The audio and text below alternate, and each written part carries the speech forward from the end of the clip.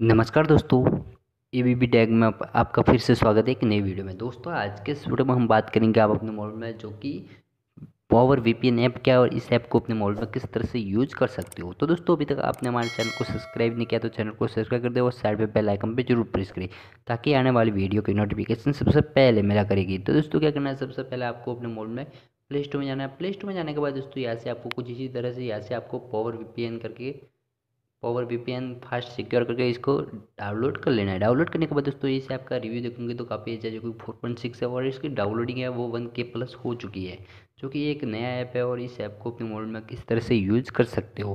तो दोस्तों, उसी तरह से ये ऐप देख सकते हो, जो कि काफ़ी अच्छा है, इसमें आप अपने मोबाइल में किस तरह से इसे यूज़ करते हो। तो दोस्तों, इस ऐप को यहाँ से हम सिंपल ओपन कर देंगे।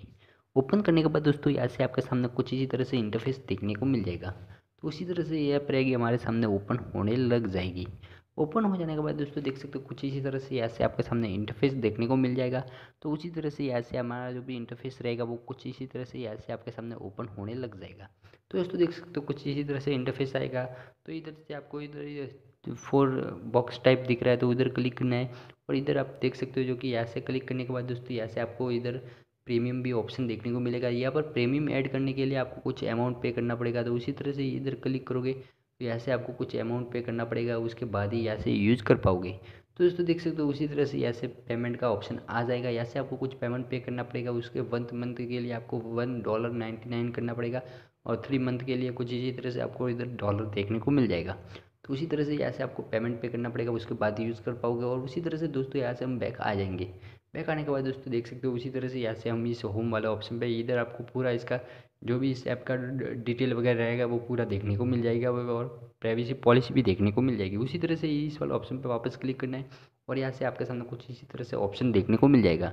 तो उसी तरह से यहाँ से आपको चेंज सर्वर इधर इस वाले ऑप्शन पे पहले क्लिक करना है और यहाँ से आपको अपने सर्वर है वो देखने को मिल जाएँगे। तो उसी तरह से यहाँ से अपना जो भी सर्वर है, पहले इधर अपने सर्वर को ऐड कर लेना है। तो उसी तरह से यहाँ से अदर कंट्री में अभी इधर इसका सर्वर कनेक्ट करना चाहते हो तो यहाँ से आपके सामने इधर सर्वर ओपन होने लग जाएँगे। तो दोस्तों देख सकते हो, उसी तरह से यहाँ से अपने सर्वर रहेंगे, वो आपको इधर देखने को मिल जाएँगे। तो उसी तरह से यहाँ से आप कौन सा भी सर्वर है यहाँ से हम ऐड कर लेंगे। तो दोस्तों देख सकते हो, उसी तरह से यहाँ से मैं इस वाले सर्वर को कलेक्ट कर देता हूँ।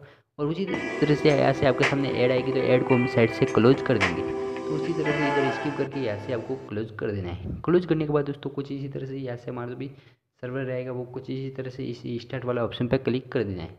इस पर क्लिक करने के बाद दोस्तों यहाँ से हमारा जो भी सर्वर यहाँ पर वीपीएन को ओके पे क्लिक कर देना है। ऐसे हमारा जो भी वीपीएन है कुछ इसी तरह से ऐड होगा और उसी तरह से ऐड आएगी तो ऐड को हम साइड से क्लोज कर देंगे। तो दोस्तों देख सकते हो इधर क्लोज वाला ऑप्शन पे क्लिक कर देना और उसी तरह से यहाँ से हमारा जो भी सर्वर रहेगा, वो कुछ इसी तरह से इधर कनेक्ट हो चुका है। तो दोस्तों देख सकते हो, यहाँ से आपको अपलोड और डाउनलोड की दोनों स्पीड देखने को मिल जाएगी। क्योंकि ये फ़र्स्ट वाले में अपलोड की है और सेकंड वाले में डाउनलोड की स्पीड है तो इसी तरह से यहाँ से आप अपने अदर कंट्री में इस वीपीएन को अपने मोबाइल में यूज़ कर सकते हो और अदर कंट्री में इसका सर्वर रहेगा, वो बहुत ही फास्ट रहेगा। और यहाँ से हमारा जो भी इंटरनेट की स्पीड रहेगी, वो भी फास्ट रहेगी। तो उसी तरह से इधर आधे घंटे में आप इस सर्वर को यूज़ कर सकते हो। और दोस्तों, वीडियो अच्छा लगा तो लाइक कमेंट और सब्सक्राइब ज़रूर करना। और दोस्तों, इस वीपीएन को आप डिसकनेक्ट करना चाहते हो तो सिंपली इस डिसकनेक्ट वाले ऑप्शन पर क्लिक कर देना। जो यहाँ से हमारे, यहाँ से यस पे क्लिक कर देना। यहाँ से हमारा जो सर्वर रहेगा वो डिसकनेक्ट हो जाएगा।